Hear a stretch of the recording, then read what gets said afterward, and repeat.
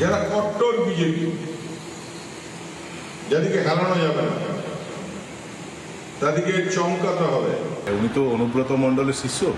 তো অনুব্রত মণ্ডল তো কিছুদিন পর হয়তো জেলের মধ্যে থাকবেন। তো এই ধরনের ধমকি যদি দিতে থাকেন তাহলে অনুব্রত মণ্ডলের সঙ্গে লুডো খেলার জন্য জেলেতে এক দুজন লাগবে। তখন হয়তো এনাকে যেতে হবে। আসানসোল উপনির্বাচনে তৃণমূল প্রার্থী শত্রুঘ্ন সিনহার সমর্থনে দলীয় কর্মী সভা। সেখানে বিজেপি কর্মীদের হুমকি। ভিডিও সত্যতা যাচাই করেনি জি চব্বিশ ঘণ্টা।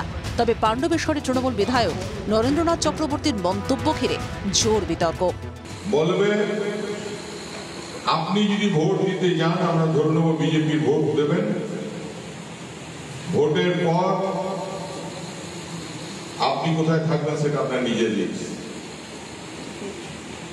আর যদি ভোট দিতে না যান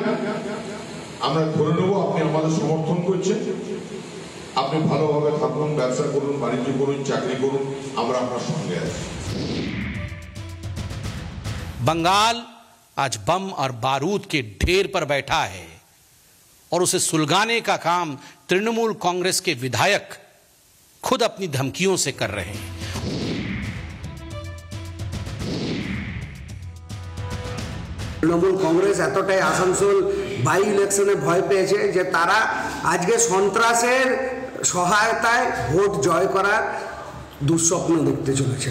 তাই আমাদের ইলেকশন কমিশনের কাছে, মাননীয় ইলেকশন কমিশনের কাছে একান্ত অনুরোধ, এই বিষয়টা তদন্ত করুন।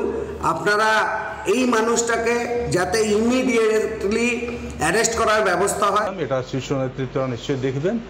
আর আমাদের কাউকে হুমকি চুমকি দিয়ে ভোট নিতে হয় না। কারণ পশ্চিমবঙ্গের মাননীয় মুখ্যমন্ত্রী মমতা বন্দ্যোপাধ্যায় যেভাবে উন্নয়ন করেছেন, যেভাবে প্রতিটি মানুষের, প্রতিটি পরিবারের জন্য উন্নয়নমূলক প্রকল্পগুলো দিয়েছেন, প্রতিটি মানুষে এই প্রকল্পের আওতায় রয়েছেন।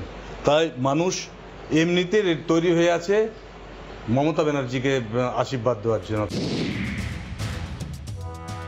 পুরনো হতে পারে সে সময় তো।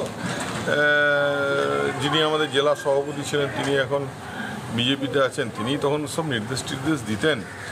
সেই মতো আমরা কাজ করতাম নিচুতলার কর্মী আমরা। এই ভাইরাল ভিডিও ঘেরে ভোটের আসানসোল এখন গরম। আসানসোল থেকে বাসুদেব চ্যাটার্জির রিপোর্ট, জি চব্বিশ ঘণ্টা।